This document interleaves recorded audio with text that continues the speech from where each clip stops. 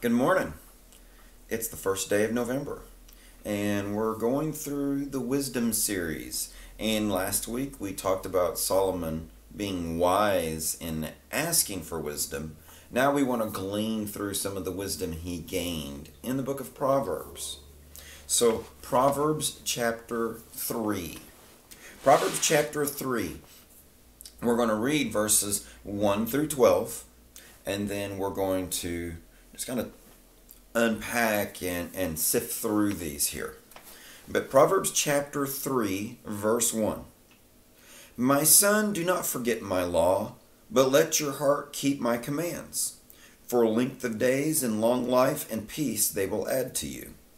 Let not mercy and truth forsake you. Bind them around your neck, write them on the tablet of your heart, and so find favor and high esteem in the sight of God and man. Trust in the Lord with all your heart, and lean not on your own understanding. In all your ways acknowledge him, and he shall direct your paths. Do not be wise in your own eyes. Fear the Lord, and depart from evil. It will be health to your flesh and strength to your bones. Honor the Lord with your possessions, and with the first fruits of all your increase. So your barns will be filled with plenty, and your vats will overflow with new wine. My son, do not despise the chastening of the Lord nor detest his correction. For whom the Lord loves, he corrects, just as a father or the son in whom he delights. And this is the word of the Lord. Now, Solomon, you get a sample here of the uh, of the proverbs here, don't you? But there's one little nugget there in the very middle that you probably recognize. It's very well known, well loved, and that's Proverbs 3 5 through 6. Let's look at those again because that's where we're going to launch from there. And everything that's around it is either how to get to that point or what to do now that you're at that point. Okay? So let's look at this. Proverbs 3, verse 5 Trust in the Lord with all your heart and lean not on your own understanding. In all your ways acknowledge him, and he shall direct your paths. And so the first thing there is to trust in the Lord. And because the opposite there, the uh, the negative command that is in that is to lean not on your own understanding. We're going to pair those together here. So you can see that it's is to put your weight to lean into the Lord and not yourself. Now, in some ways it's easy to say, well, yeah, that's that's what I would do. But are we doing that for all of our life? Because that's what he says there the word all, with all your heart. So it's not just with all your heart in one part of your life, but with all of your life. That we trust in him, trust in his words, in his ways. With all you have, with all that you are. Because the heart is the seed of your being. It's where the thoughts and feelings come from in the Hebrew mind. And so it's it's there at your very core character. And so basing your life on God's word. In a dark world, you need light, and God's word is that light. In a place that is easy to get lost and and to lose your way, this is our navigating beacon. This is not only that we may see, but also that we may know home, that we may know the way. And so he says, base your life on God's word. Dig deep. Trust in the Lord with all your heart, and not on your own understanding. Now, some of us may not feel like we're the smartest kids in the class anyway. Some of us think we are the smartest kids in the class. But the reality is is that all of us are being instructed to lean not in our own understanding. And I think as we walked with Solomon in his days, if you go in uh, in the coming week and read through the rest of of uh, First Kings, you'll see that that's what Solomon did he heard less and less from God and he walked in his own understanding. And even being the smartest guy of his time, he became a fool. He became a fool, and we're going to unpack that reason why. But it starts with he was leaning on his own understanding. This is what is the best sense now and in this world. but that wasn't what was best outside of his mind, above the sun, as we will see in Ecclesiastes, and for eternity. The heart is deceitful, Jeremiah tells us. Even Solomon has proverbs that that give us that realization that we we can't rely on it. It's tainted by sin. Our thinking is flawed. We can be deceived by ourselves. We will deceive ourselves. We can't trust our feelings. They're to be led, not to be our guide. They're unreliable at best. And truth be told, compared to God, we have a very limited knowledge. You may have the encyclopedia set memorized. Some of you are wondering what an encyclopedia set is. But uh, you may have Wikipedia memorized, but you still have limited knowledge compared to God. You have limited perspective. You can't see the whole big picture. Truth is, we don't. You may have a better picture of the big picture than those around you, but you don't have the whole picture together. And you have limited experience. Even if you're 90 years old, you haven't experienced it all yet. And therefore, God says, don't lean on your own understanding, your own cognitive skills, on your own cleverness, on your own wisdom. It's going to fail you. Trust in the Lord with all your heart and lean not on your own understanding. In all your ways, acknowledge Him. And that's not just a, well, howdy, God, and just go on your way. That is to know Him. And it's that word for, eh, as I understand it, a very intimate knowledge. It's to really get to know Him. Because there's an interesting thing that drives a lot of people crazy, especially the seminary kids, and that is the Bible isn't written as a theological treatise. It isn't. I can barely even say the word. It's written more as a biography, an annotated biography. It's telling the story. It's designed to be relational.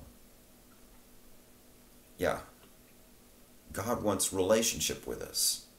Our religion is relational. There is religious aspects to Christianity in the worship of God. But at its core, it's designed to be relational as God interacted with human beings. And our our God, the true God, is not cold and aloof, just working the computer or or just the uh, the chess master working the, the board. No, he interacts with us. He is reactive to us. Even though he is timeless and eternal and unchanging, he is reacting to us. He's chosen to be that way. And so the Bible reveals that. These aren't just theological facts to understand, but it is a biographical story. So I want to illustrate this in one way. What is Genesis, the starter of the Bible?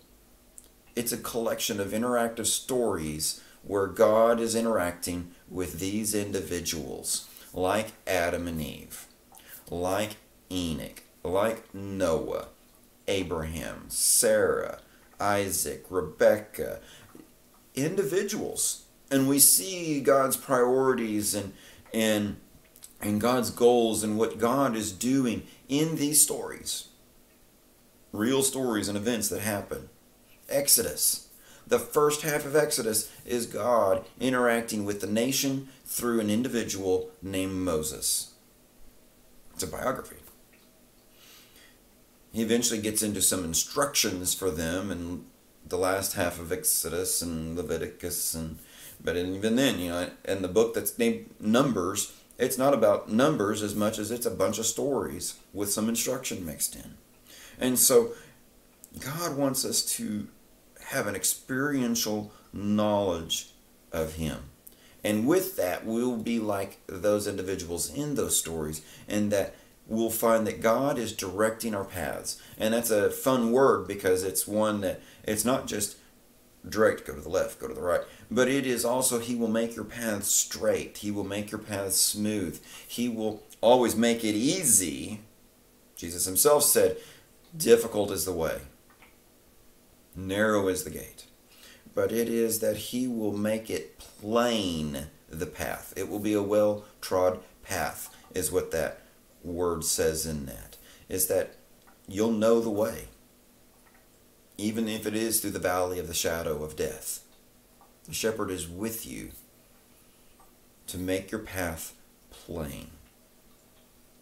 Which then, as you see, as we've dealt with that Psalm 23, again, that relational aspect of being with God.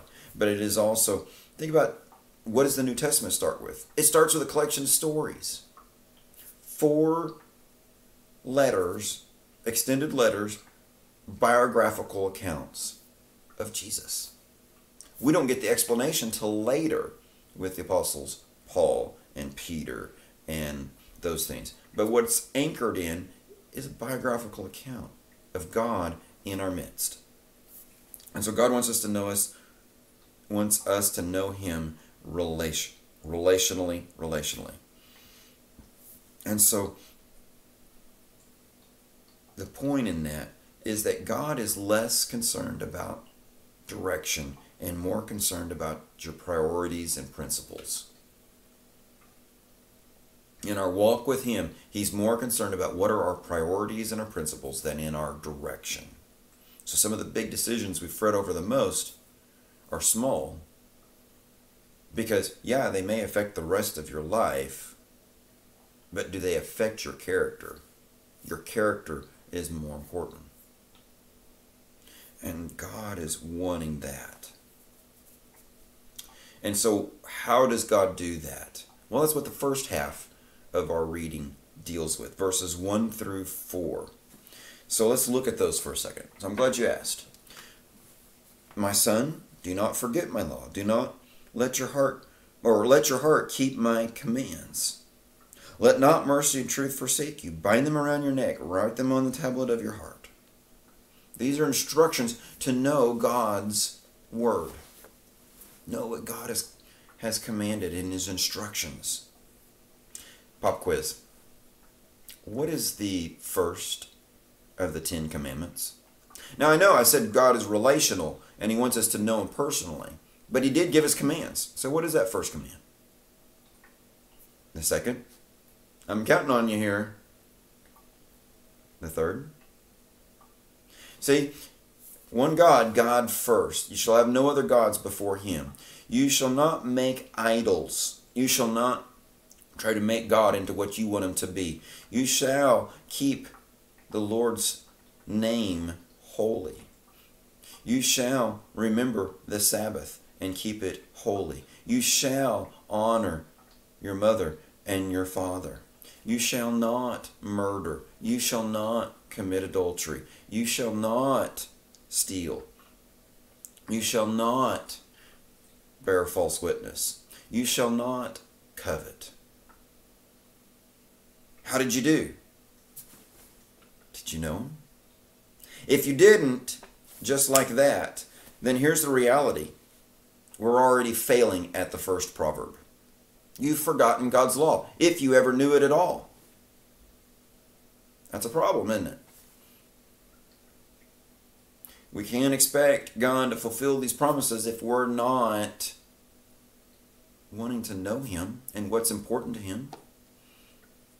Let's make it a little easier here. What did Jesus say was the first and greatest commandment? What did he say was the second that was just like it?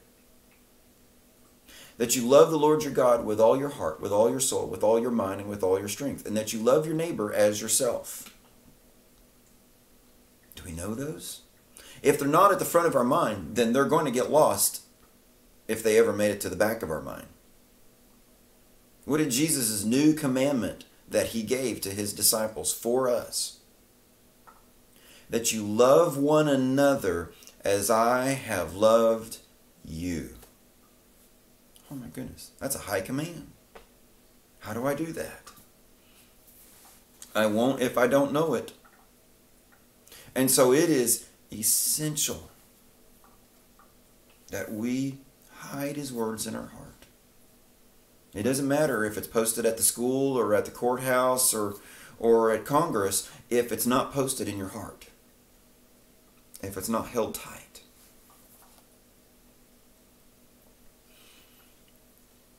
That in our reading with Jesus we do we see his mercy? Do we see his his truth? Do we see how he shows mercy to those who were who were weaker and, and lesser than him? His enduring patience? Do we see his unflinching resolve to tell the truth? If we've forsaken those, then we're fools. We don't know God. And so I plead.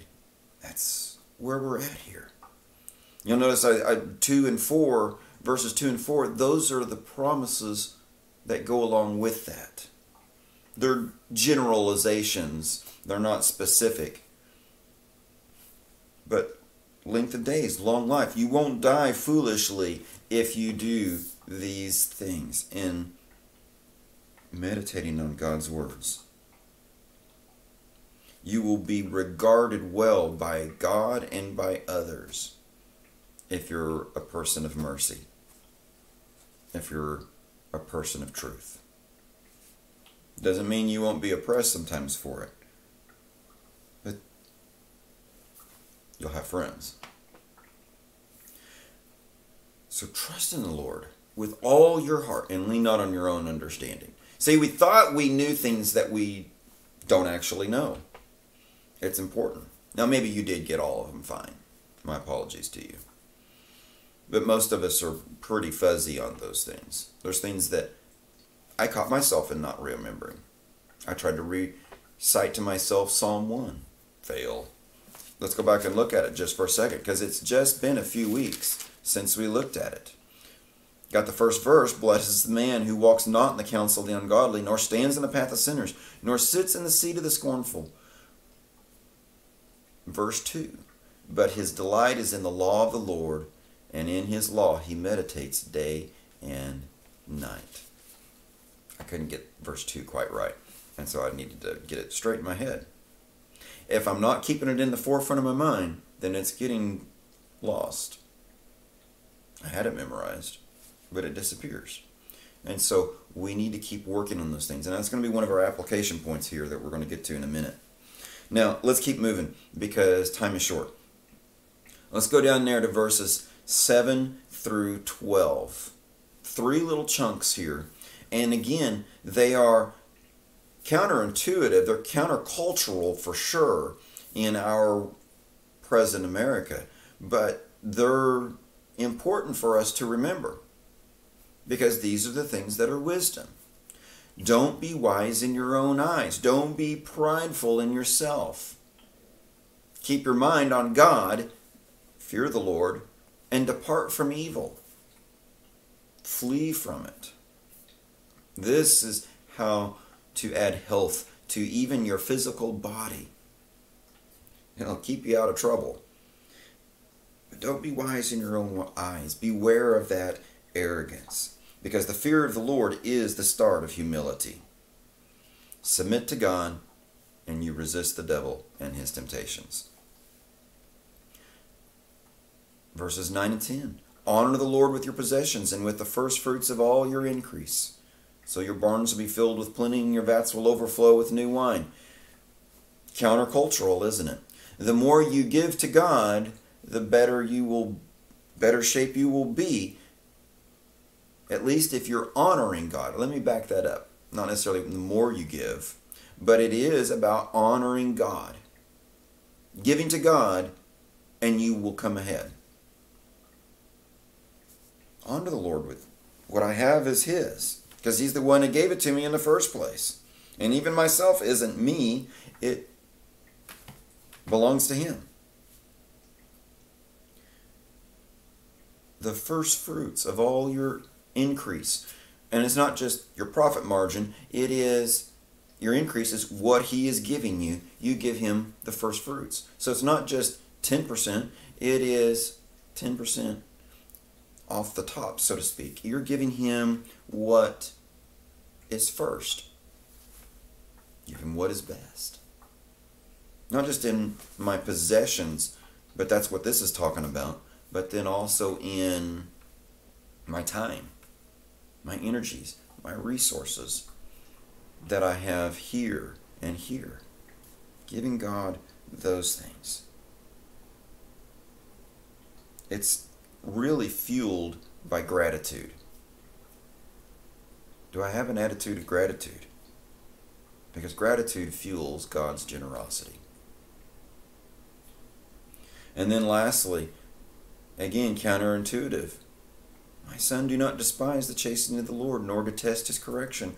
Oh no, not the hard times, not when God is is correcting us, but instead for us not to see God as the big the big bad, but to see him as a loving father. Maybe we didn't have a loving father on earth, but that's the picture God wants us to have, and which is the reason why we as parents are to be an example for our children to know a loving parent. One who delights in their children. One who corrects with a goal of seeing them grow into a man or woman of God.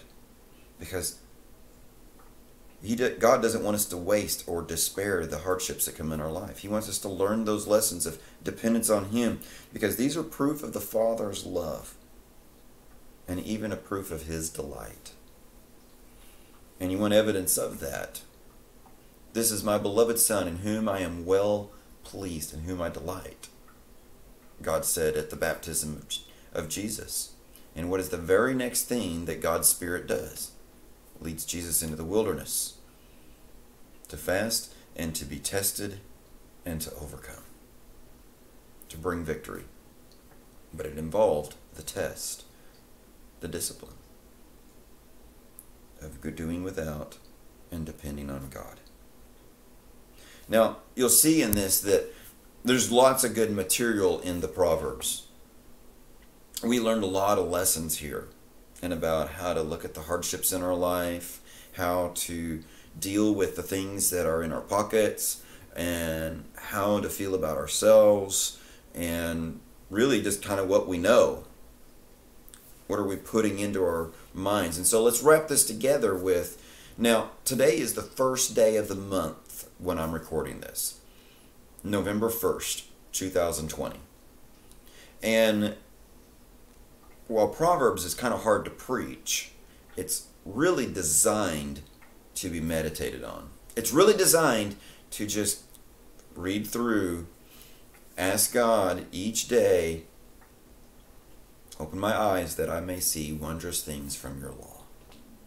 And a chapter a day. Now, November only has 30 days, so when you get to December 1st, you'll have Proverbs 31 to finish. But a chapter a day.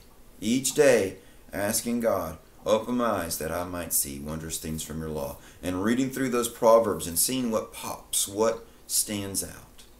Because something will. If we're looking for God to teach us through His Word. And for those little wisdom nuggets then to be applied through our day. That's our homework. Because that's how we'll see God's hand in our in his chastening, in his in his uh, working in us as sons and daughters. That's how we'll be reminded to not be arrogant, but to to have humility. That's how we'll see God directing our paths. More for character and less for direction. The direction will follow if the character is with God. Thank you for joining me in this.